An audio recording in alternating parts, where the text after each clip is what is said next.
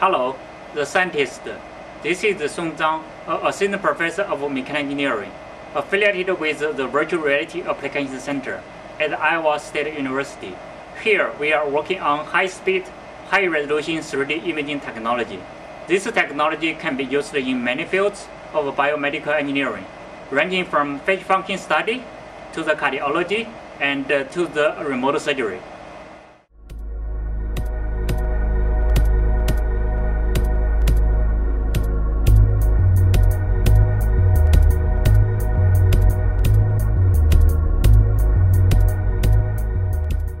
Projection techniques for 3D facial expression capture have two main advantages over other techniques, speed and resolution.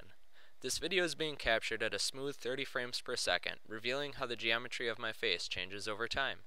Using this, we can capture my various emotions, such as happiness, sadness, anger, and surprise.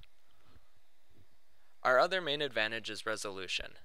Not only can we capture geometry fast, but we can do it accurately, revealing small details that other systems cannot. What a sweet dream!